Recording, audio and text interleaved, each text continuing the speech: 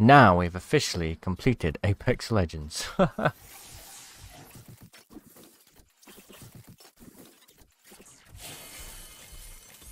Here it is.